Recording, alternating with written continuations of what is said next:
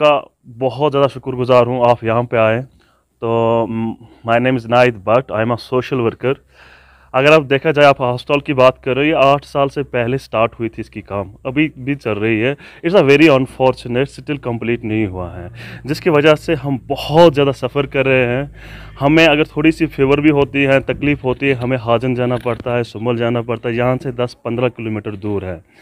आ, मसला ये है कि अगर मैं रात को कोई बीमार हो जाता है वो हमारे गाँव के लिए सबसे बड़ा मसला है। अगर कोई गरीब बीमार हो जाएगा कोई कोई और इंसान भी बीमार हो जाएगा तो उसको गाड़ी ढूंढनी पड़ती है उसको पड़ोसी के घर जाना पड़ता है उसको दरवाज़ा खटकना पड़ता है कि आप हमारे घर में कोई बीमार आया है बीमार हुआ है तो मेहरबानी करके आप हमें हस्पताल तक छोड़िए।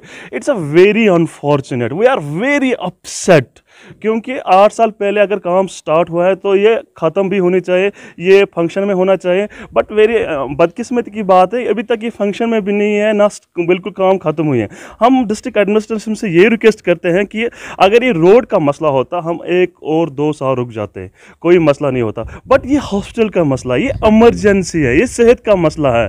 ये मतलब ये बेसिक फैसिलिटी से हमें दूर रखना, महरूम रखना, ये हमारे लिए नाइंसाफ़ी है। हम district district Bandipora D C OS साहब से रिक्वेस्ट करते हैं कि मेहरबानी करके इसका इसे जल्दी से जल्दी काम ख़त्म होनी चाहिए और जल्दी से जल्दी इसका मतलब ये स्टार्ट होना चाहिए फंक्शनलाइज होना चाहिए और ताकि हम लोगों को आसाइश मिल जाए।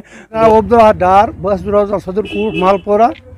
मगर बस यसान अस्पताल गई साढ़ शे वरी शे वरी गई बराबर कम चलान मगर अन्न वातान कुन मगर अस बेमार कह अत बड़ मुश्किल हजन या सफ़ा पोर कुन जाए गन या अजस या कुन जाए इस लड़ी डाक्टर बड़ आम सह अजस करान तम वारियान जायन डाक्टर बेस बह यहान पे पान गो ट्रामा हस्पताल ये बन हो हस्पताल गोस बन कि ट्रामा हस्पताल बन तथ